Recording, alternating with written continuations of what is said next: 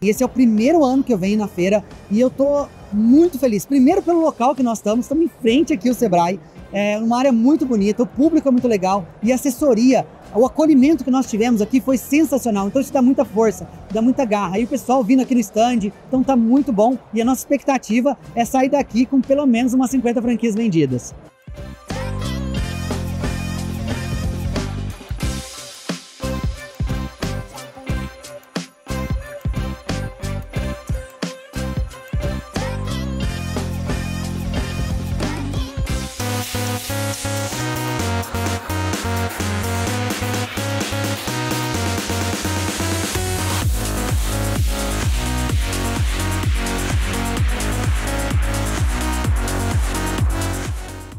Alguns anos atrás eu fazia bastante cursinho lá, sabe? Fiz sobre lucratividade, eu fiz o Empretec, eu já fiz o Ali uma vez e agora eu tô podendo fazer de novo. O Sebrae tem me ajudado muito, eu aprendo muito com o Sebrae, sabe? Super indico porque é muito interessante para mim.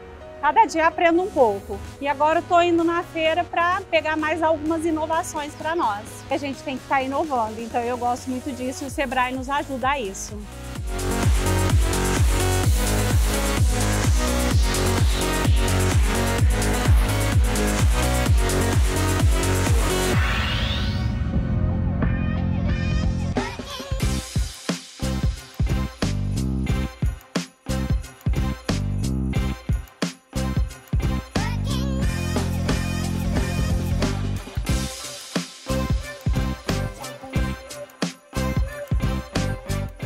Sebrae sempre foi, né? 17 anos de empresa, é, nós buscamos lá atrás o conhecimento no Sebrae e continua ainda buscando o apoio e o conhecimento no Sebrae. Bacana demais.